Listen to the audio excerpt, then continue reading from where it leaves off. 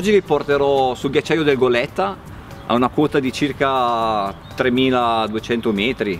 eh, si trova nella valle di Rem, eh, a ridosso del parco del Gran Paradiso sopra la Gran Taparei e vi porterò a vedere un paesaggio mozzafiato. La giornata, vedete voi, è splendida, eh, la meteo ci consentirà sicuramente anche di fare un atterraggio con voi, così condivideremo insieme questa nostra esperienza. Partiamo!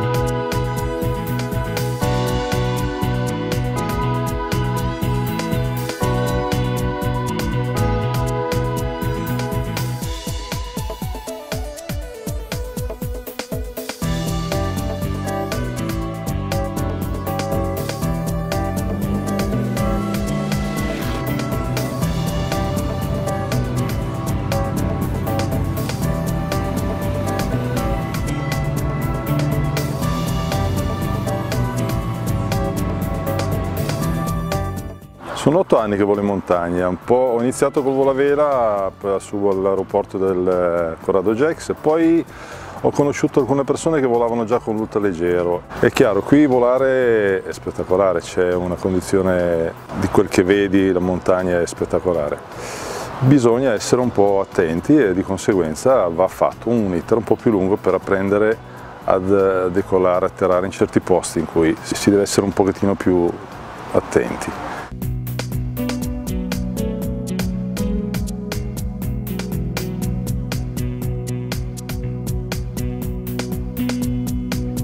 La sensazione di volare in montagna è una condizione eh, di, di, di libertà, non so, di, di, super. Si vola delle quote fantastiche, non si vola di certo a 3-4 mila piedi, ma si vola molto più in alto, quindi 12 mila piedi si vede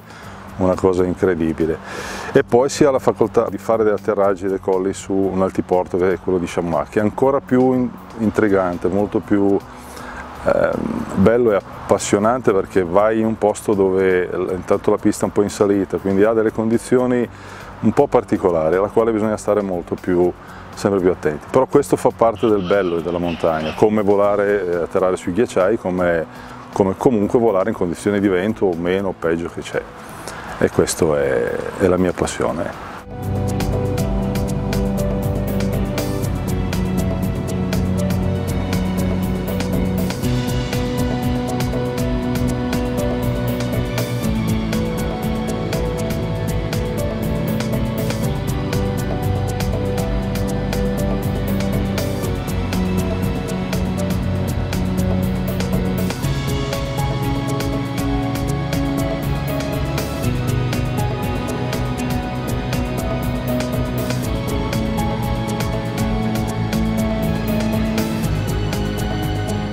Eccoci arrivati a Chamois, 10-15 mm, minuti di volo da Châteaulers, si arriva qui in questo posto meraviglioso, oggi poi è una giornata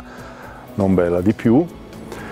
E niente, siamo qua immersi in questa bellissima natura, adesso qui mi diventa difficile ripartire, cioè di che ho la passione del volo quindi mi, eh, mi verrà voglia di nuovo di volare, però stare qui ci starei volentieri anche qualche ora. Qui noi veniamo spesso, un po' per allenarci perché questa pista è appunto in salita, un po' impegnativa, un po' per rimanere in uno spettacolo di posto, cioè tranquillo, è, è un paradiso. Questo posto meraviglioso noi lo utilizziamo anche d'inverno, non solo d'estate. D'estate è bello, ci mancherebbe perché ha questa caratteristica, ma d'inverno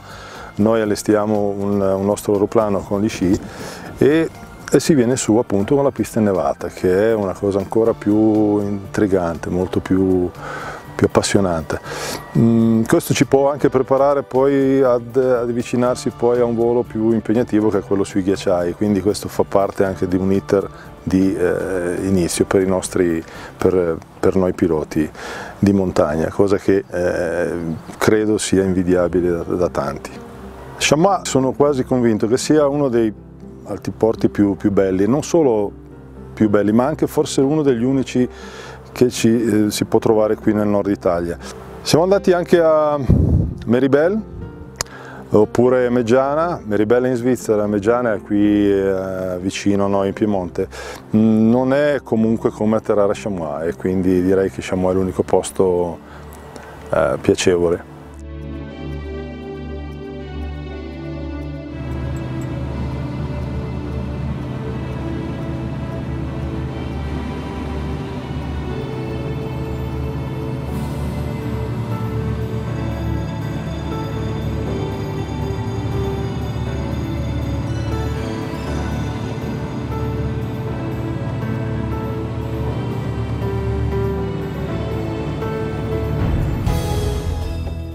Nel nostro volo di oggi eh, siamo decollati dalla, dall'aviosuperficie Châtelet di Nus proseguendo verso direzione est per seguire il costone a nord della Valle d'Aosta in modo tale da prendere le correnti di dinamica ascensionali per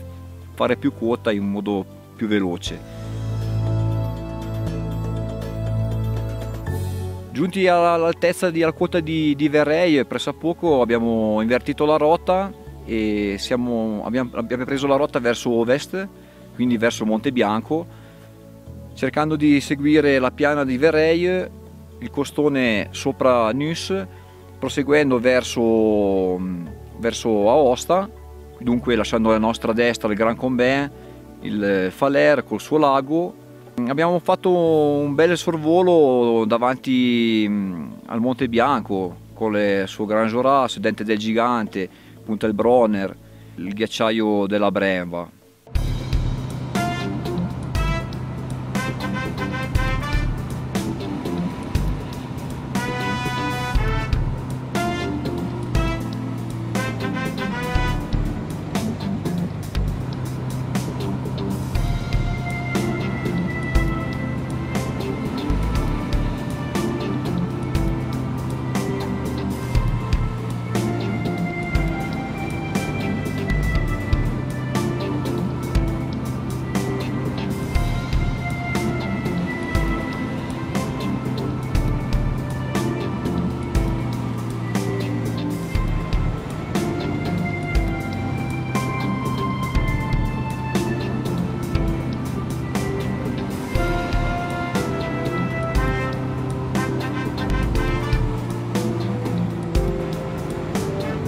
Oggi ci siamo presupposti di venire ad atterrare su un ghiacciaio.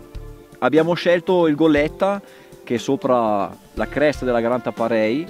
perché è un panorama secondo noi fantastico e lascia un po' in invidia a tutti questo ghiacciaio qua così. E oggi le condizioni di meteo, eh, di sole e di neve erano ottimali perciò vi ho portato qui siamo passati davanti al ghiacciaio del Ruitolo a Chateaublanc per giungere fino alla Val di Rem e atterrare.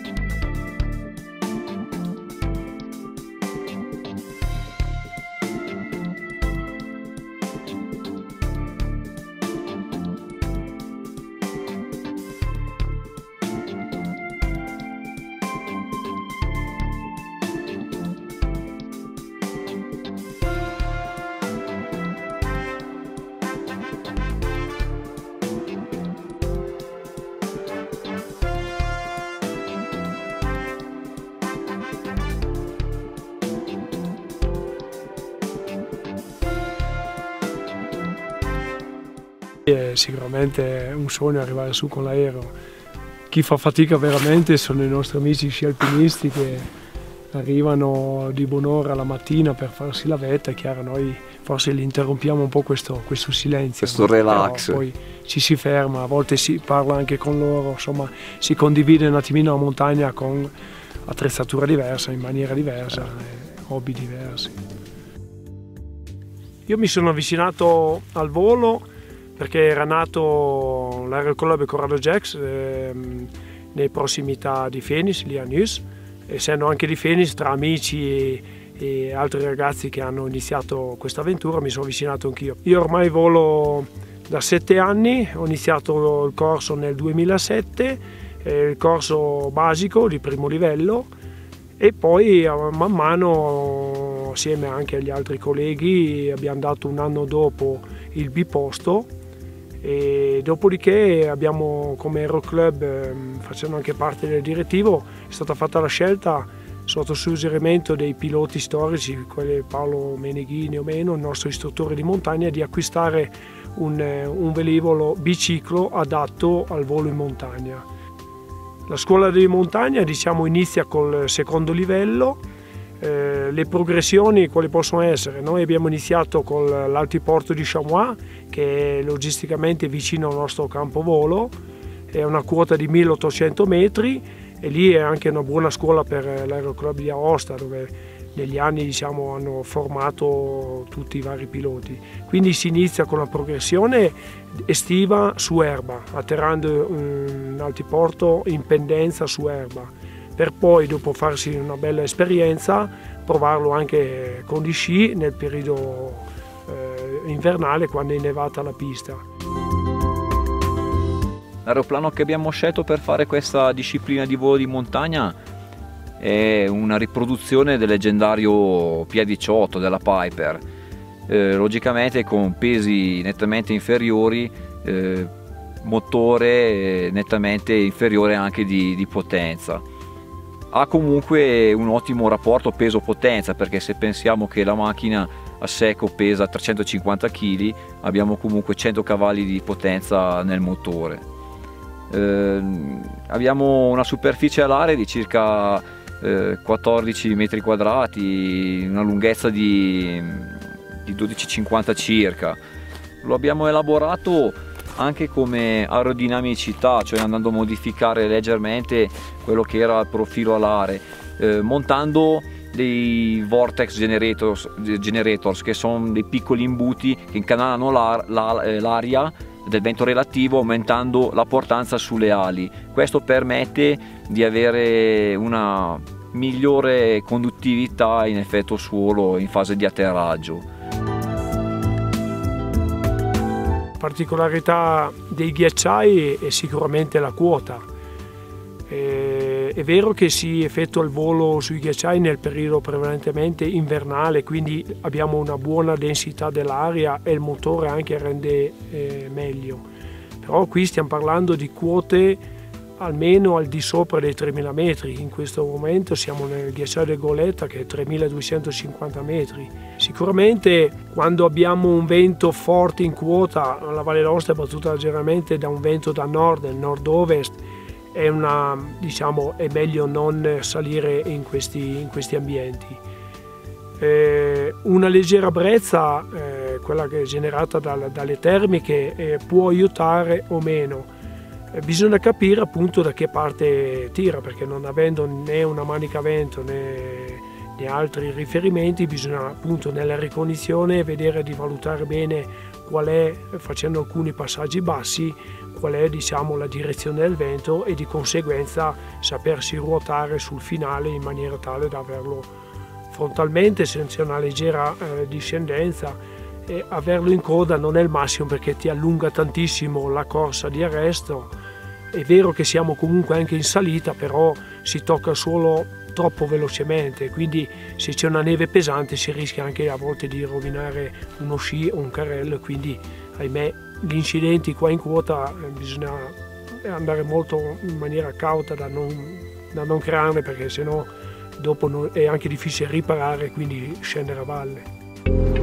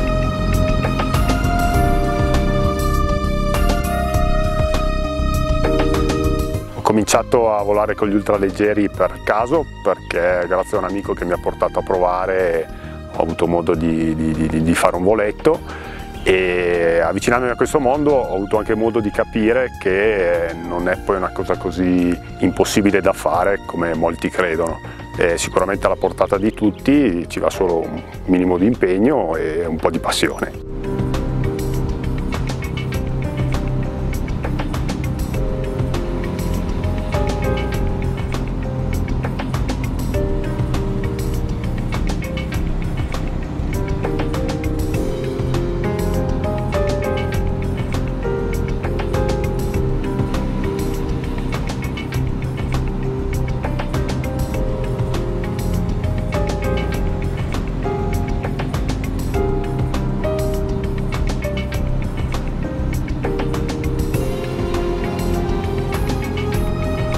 Questo è un Savanna della ditta ICP e viene prodotto qua in Piemonte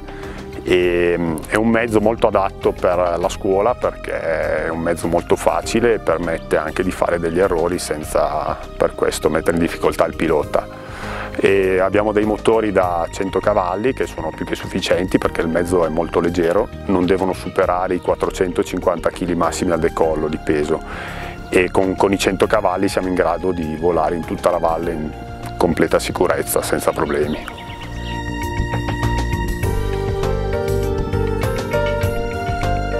Ho iniziato a volare nel 1976 presso l'Aeroclub Valle d'Aosta con aerei dell'aviazione generale Dopodiché da circa due anni e mezzo mi sono rivolto all'aviazione leggera con gli ultraleggeri, mi sono rivolto all'aereo che ho qui alle mie spalle, all'ultraleggero che ho alle mie spalle, che è veramente una macchina eccezionale, molto adatta al volo soprattutto in montagna. Con questa macchina si possono infatti montare anche gli sci, per cui tutta l'attività anche su ghiacciaio che è tipica qui della valle. Qui a Chamois abbiamo una pista eccezionale che ci permette di mantenere l'allenamento. Eh, oggi il volo in montagna è diciamo, a livello ludico, a livello di, di passione più che altro, è comunque un'attività che andrebbe provata da tutti, soprattutto questo tipo di volo che permette di avere un contatto maggiore con la natura e per le sensazioni che dà il volo in, negli ambienti montani. Eh, il vantaggio è che volando in montagna si, si l'ambiente si vede in una maniera totalmente diversa da, quel, da, da quello che si vede camminandoci e quindi percorrendo la montagna. Eh, molte cose che non si vedono a piedi con l'aeroplano è possibile avvicinarsi molto di più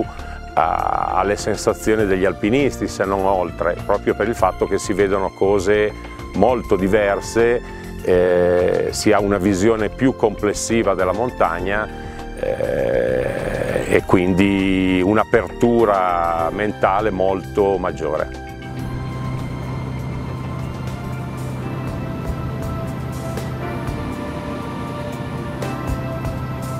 Questo ultraleggero è costruito in Francia, totalmente